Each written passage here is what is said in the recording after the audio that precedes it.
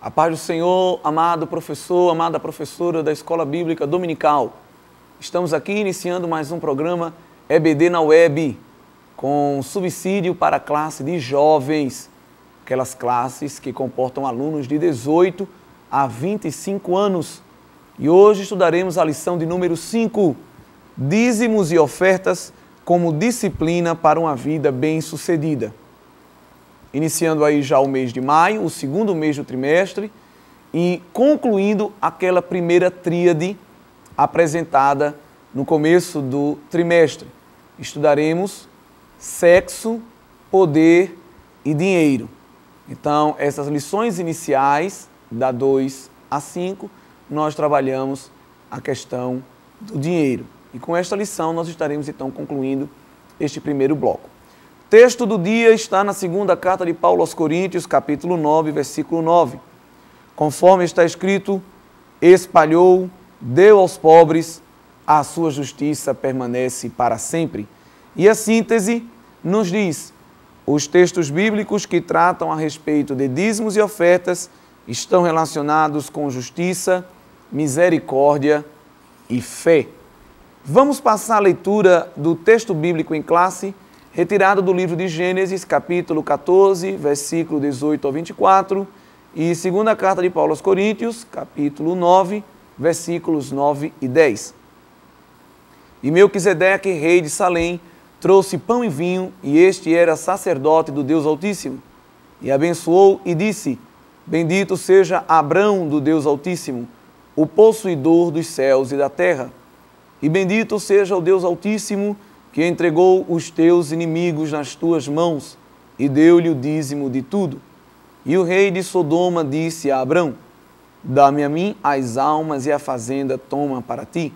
Abrão, porém, disse ao rei de Sodoma: Levantei minha mão ao Senhor, o Deus Altíssimo, o possuidor dos céus e da terra, e juro que, desde um fio até a correia de um sapato, não tomarei coisa alguma de tudo que é teu, para que não digas: eu enriqueci a Abrão, salvo tão somente o que os jovens comeram e a parte que toca aos varãos comigo foram Ané, Escol e Manri, estes que tomem a sua parte.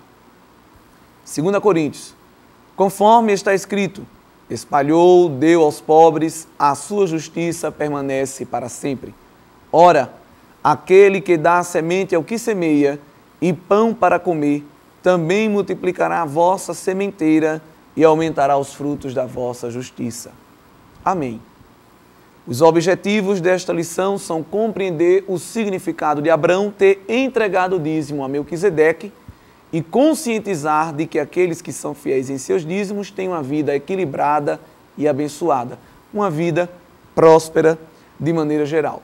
Esse cenário do texto bíblico nos mostra um cenário de guerra, a única guerra que Abraão se envolveu diretamente, e nós vamos ver que quando alguém, um exército, um povo vencia uma guerra, tinha direito ao despojo, ou seja, aos bens, às riquezas daquele povo vencido, o ouro, a prata. Mas de forma interessante, Abraão não se apoderou do despojo, embora ele e o seu grupo tenham vencido a guerra mas deu o dízimo ao Senhor. Veja que ele rejeita a oferta do rei de Sodoma, pois ele quis mostrar que dependia tão somente do Senhor e não queria sair na fama de ter tirado vantagem. Abraão abriu mão da riqueza, mas isso não lhe fez falta, pelo contrário, ele continuou prosperando na presença de Deus. Mas ele foi fiel, dando o dízimo dos despojos. Dízimo, tema polêmico hoje na igreja. Pessoas que não querem mais dizimar nem ofertar por causa da forma como o dízimo é administrado, pessoas que não podem dizimar e ofertar porque não têm equilíbrio na vida financeira e quando chega ao fim do mês não consegue pagar nem suas contas. Um grande perigo é você deixar o dízimo por último, você não vai conseguir entregá-lo. Dízimo é primícia. Tem que ser o primeiro. Recebeu o seu salário, entrega teu dízimo. Porque se você for deixar para pagar as contas e pagar o dízimo só depois, vai entrar mês e sair mês, irmão, e você não vai conseguir ser fiel ao Senhor. E a lição vai chamar a atenção para esses dois casos. Pessoas que usam o pretexto de que, ah, na minha igreja não vejo uma boa administração, não vou dizimar. Irmão, isso é antibíblico. Nós devemos fazer a nossa parte e entregar aquilo que é do Senhor. A administração, Deus também pedirá conta. Mas nós, como fiéis ao Senhor, não podemos usar esses subterfúgios se eles existirem, que às vezes nem existem, mas as pessoas ficam se aproveitando. E a outra situação é ter uma vida financeira equilibrada, não gastar mais do que recebe. Se seu salário é X, você não pode gastar 2X. Obviamente você vai ficar bastante embaraçado. Então, nós já vimos que dinheiro não é somente sinônimo de prosperidade, de bênção. Nós vimos que o Senhor Jesus ensina a partilharmos o que temos com os que não têm. E na Bíblia, nós vemos que a bênção de Deus está sobre aqueles que reconhecem que o Senhor é a fonte. E o dízimo é isso. É uma forma de nós louvarmos e agradecermos ao Senhor pelas bênçãos que Ele nos tem dado. Dízimo é uma palavra recorrente na Bíblia, está presente tanto no Antigo como no Novo Testamento. Colocamos aí no rodapé do vídeo as referências bíblicas que nós podemos encontrar dízimos no Antigo Testamento, livro de Gênesis, Levítico, Números, Deuteronômio, primeiro livro de Samuel, Neemias, Amós, famoso texto de Malaquias e também no Novo Testamento no Evangelho de Mateus, de Lucas, de Hebreus. Ninguém pode dizer, diz uma coisa do Antigo Testamento, pois no Novo nós vamos ver até o próprio Jesus Cristo reafirmando esta prática. Vamos ler pelo menos duas referências.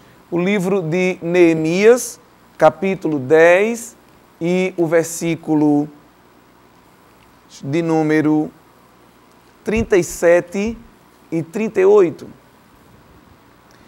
e que as primícias da nossa massa e as nossas ofertas alçadas, e o fruto de toda árvore, e o mosto e o azeite traríamos aos sacerdotes, às câmaras da casa do nosso Deus, e os dízimos da nossa terra aos levitas, e que os levitas pagariam os dízimos em todas as cidades da nossa lavoura, e que o sacerdote, filho de Arão, estaria com os levitas quando os levitas recebessem os dízimos, e que os levitas trariam os dízimos dos dízimos à casa do nosso Deus, às câmaras da casa do tesouro.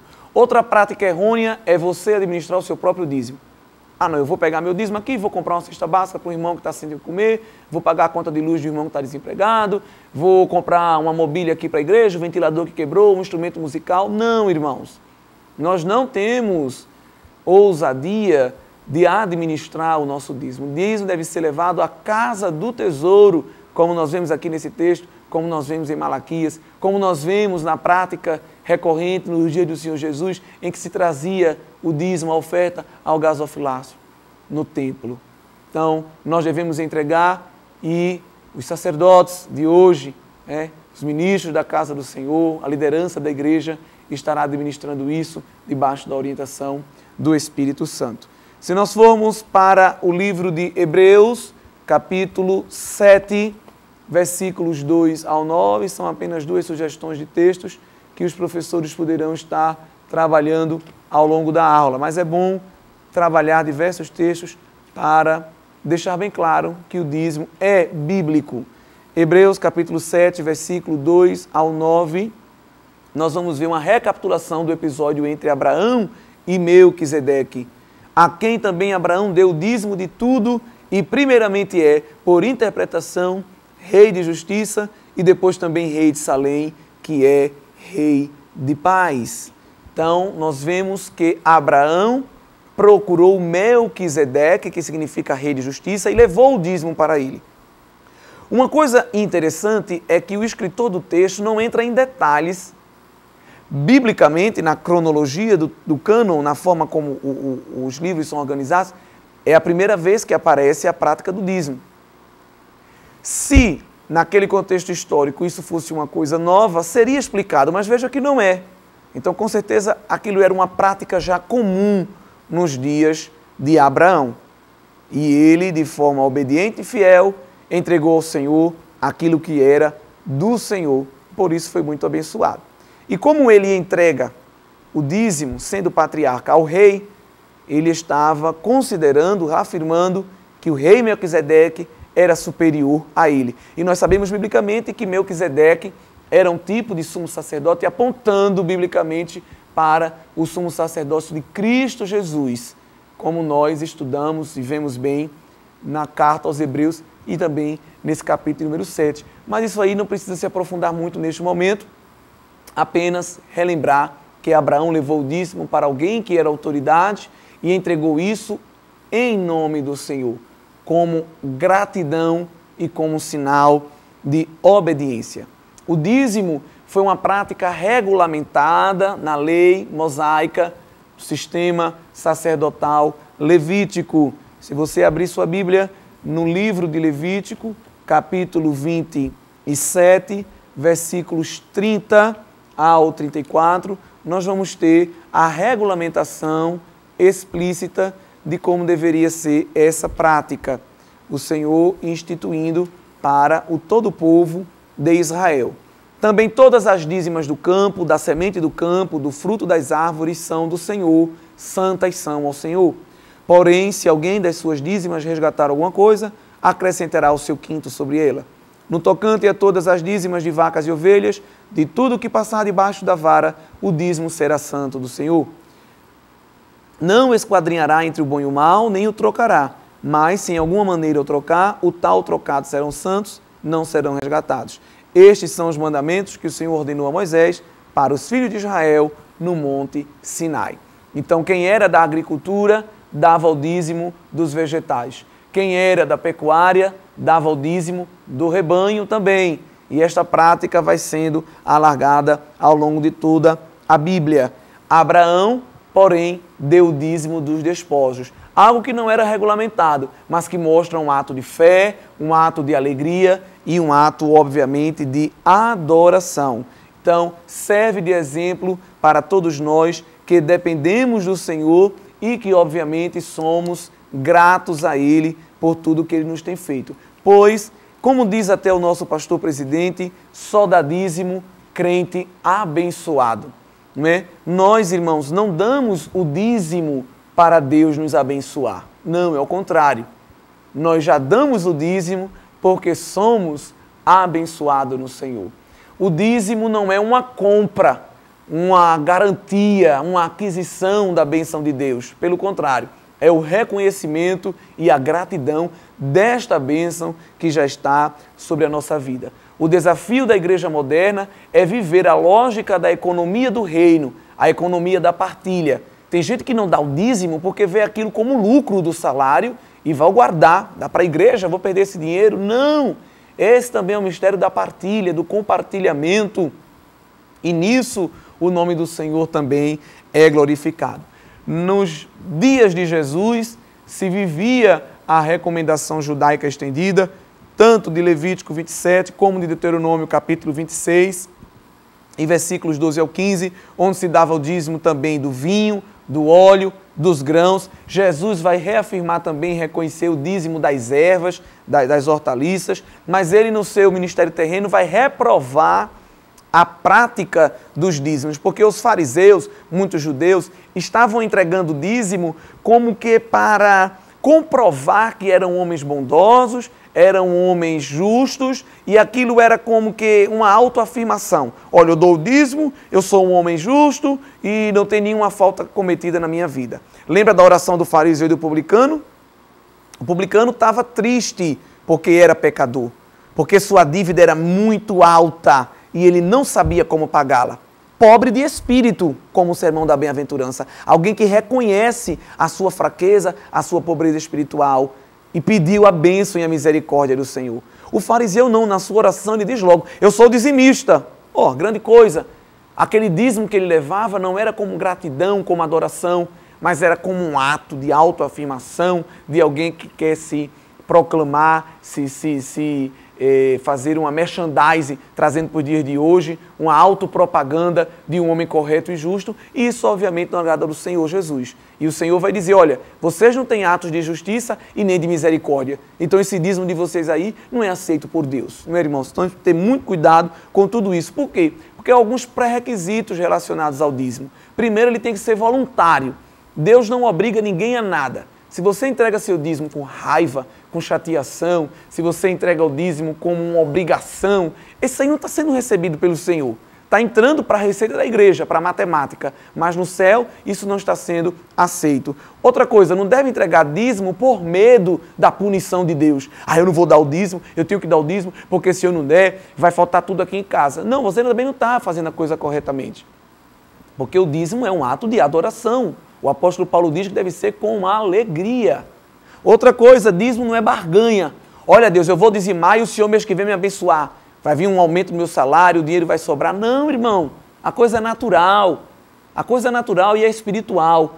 O salário continua o mesmo mas quando você vai agradecendo a Deus sendo fiel, o dinheiro sobra na facilidade. Você paga suas contas, você usufrui do lucro do seu trabalho. O nome do Senhor é glorificado numa vida de tranquilidade e numa vida de paz. Também não devemos usar o dízimo como uma esmola. Ah, vou dar isso aqui à igreja porque precisa. Não. A igreja, como organismo espiritual, não precisa de esmola nem da contribuição. A igreja é do Senhor. Muito cuidado. E também não deve ser usado como demonstração de religiosidade ou promoção pessoal, como os fariseus faziam. Nosso dízimo será aceito pelo Senhor quando essa obra for feita de coração sincero, reto e justo diante dele. Há um comentarista que diz que um homem nunca é tão pobre como quando só possui dinheiro. Veja que contradição. Quando alguém só tem dinheiro, na verdade, ele é a pessoa mais pobre que pode existir. Deus não quer o nosso dinheiro, hein? Assim como Ele não quer nossas posses, nossas fazendas, nossas herdades. O Senhor quer a nossa vida, a nossa adoração, o nosso louvor, a nossa gratidão, o nosso reconhecimento e a nossa fidelidade. Tem uma figura aí que vocês estão vendo no vídeo, baseado no texto do pastor José Gonçalves, ele classifica o dízimo como com quatro vertentes de aplicação dentro da igreja. Você pode usar de repente essa figura aí com os seus alunos. A primeira vertente seria religiosa, o dízimo na igreja sendo usado para a construção de templos, para pagamento de obreiros, de missionários, pagamento de conta, é, dessas coisas que a igreja ela precisa dentro, obviamente, da sua funcionalidade. Tem a vertente patrimonial, que é para compra de cadeiras, de, de, de ventiladores, ar-condicionado, instrumentos musicais, é, luz, energia elétrica, água e todas essas coisas que uma igreja precisa ter para funcionar. Igreja, quando eu digo instituição. Tem também a vertente social, não é, dos trabalhos de assistência social que a igreja também deve realizar dentro do seu trabalho evangelístico. Então, doações, comida, mantimentos, roupas, isso também, obviamente, às vezes, muitas igrejas utilizam o dízimo também para alcançar irmãos menos favorecidos, e isso é bíblico, não é? Também, porque ao longo da história da Bíblia vamos ver que boa parte daquilo que era levado para o tabernáculo, para os sacerdotes, era dividido com o órfão, com a viúva e com o pobre. Um dos, uma das ofertas, um dos sacrifícios que era levado lá em Levítico, o sacerdote partilhava com o pobre, com o órfão e com a viúva. E tem a vertente aí missionária para o envio de missionários, manutenção dessas congregações e desse trabalho além das fronteiras. Então, veja como o dízimo, ele tem uma aplicação tão alargada e tão abençoadora através da sua contribuição, que não é só financeira, mas espiritual, muitas vidas são alcançadas e Deus se agrada de tudo isso. Então, você, professor, trabalhando sobre o significado da entrega do dízimo de Abraão a Melquisedeque, você estará mostrando que era um ato de gratidão, um ato de reconhecimento da bondade e do beneplácito de Deus, de alguém que está levando esta contribuição para alguém superior, que hoje em dia é quando nós trazemos a casa do Senhor, vai ser administrado pelo Santo Ministério que são os homens que Deus confiou para fazer esse trabalho. Infelizmente, no preconceito social, todo pastor é ladrão, toda a igreja só está interessada no seu dinheiro, mas nós que temos compromisso com a palavra, somos uma igreja séria, sabemos que isso não é verdade. E obedecendo a palavra do Senhor, não é mandamento humano, mas é a palavra do Senhor, com certeza temos desfrutado e testemunhado a bênção do Senhor em nossas vidas. E mostrando que aqueles que são fiéis em seus dízimos têm uma vida equilibrada, também você conseguirá completar e contemplar os objetivos da lição.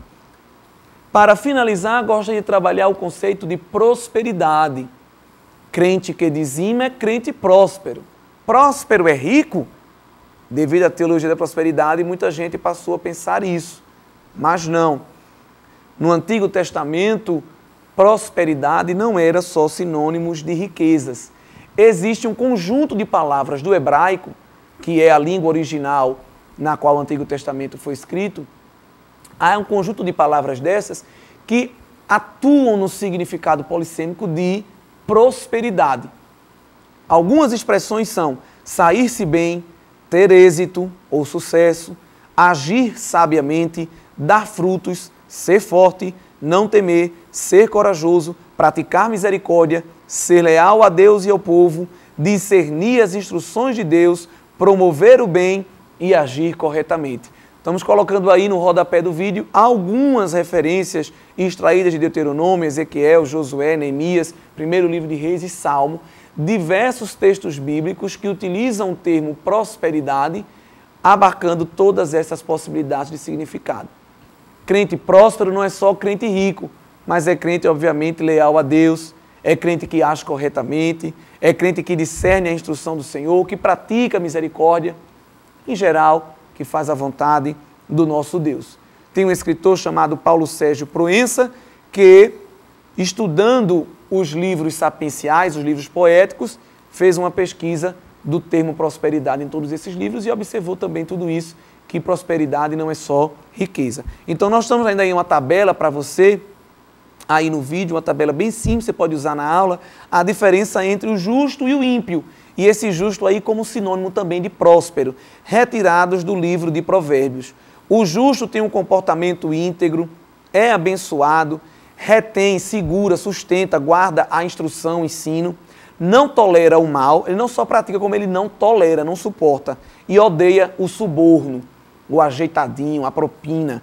Já o ímpio anda em caminhos perversos, quer ficar rico depressa, por isso que às vezes vem o enriquecimento ilícito, não atenta nem observa a instrução, não tolera o bem e é ávido, sedento por lucro. E aí estão as referências bíblicas. Então, o crente próspero, ele não tem nenhuma dificuldade em dizimar pois ele não é louco, não é ávido por lucro e nem é uma pessoa que anda nos caminhos perversos do enriquecimento ilícito e da ingratidão e da frieza espiritual e do, do ato de acusar alguém da liderança da igreja, não vou dar o meu dízimo porque eu não quero colocar o dinheiro na mão daquela pessoa. Você não está colocando o seu dinheiro na mão de ninguém, mas está colocando o seu dinheiro na mão do Senhor, casa do tesouro e Malaquias diz, usado por Deus: provai e vede se eu não abrirei as portas dos céus. Esta é a bênção do Senhor sobre a vida daquele que é fiel. Então, que através dos nossos dízimos e das nossas ofertas possamos levar uma vida disciplinada e bem-sucedida. Bem-sucedida aqui significa também próspera. Assim como Abraão foi fiel, sejamos também fiéis. A gente vê nesta lição que Abraão não era materialista.